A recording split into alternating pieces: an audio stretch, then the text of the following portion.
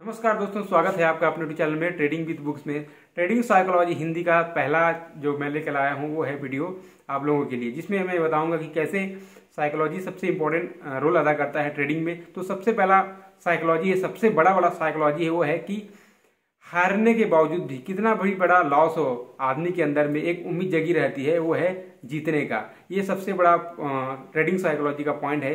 मतलब जितने भी ट्रेडर हैं, जितने भी ट्रेडर हैं जिन्होंने पास्ट में ट्रेडिंग किया, चाहे अभी अभी ट्रेडिंग कर रहे हैं, उनके अंदर एक उम्मीद बना रहता है कि हम आगे प्रॉफिट कर सकते हैं। ये सबसे बड़ा डेंजर पॉइंट है दोस्तों ट्रेडिंग साइकोलॉजी का। इसमें क्या होता है कि जैसे कि हम कोई पुराने एक्सपीरियंस में अगर हमने प्रॉफिट कमाया होगा या फिर ज़्यादा से ज़्यादा एनालिसिस किया होगा तो हमारा जो व्यू हो वो अच्छा दिखा रहा होगा। इसमें पुराने व्यू के कारण जो हमारे कॉन्फिडेंस आया होगा। तो ये है सबसे बड़ा पॉइंट कि कितना भी लॉस करने के बावजूद भी है, सबसे बड़ा साइकोलॉजी ये है कि इसमें जीतने का उम्मीद बना रहता है। जी हाँ दोस्तों, ये सबसे बड़ा पॉइंट है। इस पॉइंट को सबसे आपको लोगों को ना अच्छे से गौर करना है, इसको समझना है।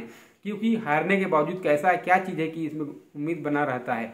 जिसे हम जानते हैं कि ट्रेडिंग साइकोलॉजी यानी पुराने एक्सपीरियंस के बेस पे हो सकता है, या आपने पुराने बेस पे आपने एक्सपीरियंस किया होगा प्रॉफिट किया होगा, या फिर कुछ ना कुछ तो ऐसे किया होगा जिसके बेस पे आप लोगों को लगता है कि ये उम्मीद है। साथ ही साथ ये हर ट्रेडर को लगता है कि इसमें हम जीत हासिल कर लेंगे। अभी फ़िलहाल लॉस कर रहे हैं ऐसा लगता है लेकिन ना बाद में आप लोगों को सभी को लगता है कि आप इसमें प्रॉफिट बना सकते हैं, लेकिन ये सबसे बड़ा साइकोलॉजिकल पॉइंट है, इस पर ध्यान दीजिए, ऐसा क्यों लगता है?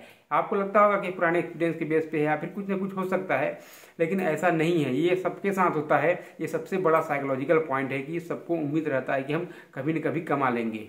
वीडियो अच्छा लगा तो लाइक कीजिए कमेंट कीजिए, मिलते हैं स्टूडियो में। जय हिंद।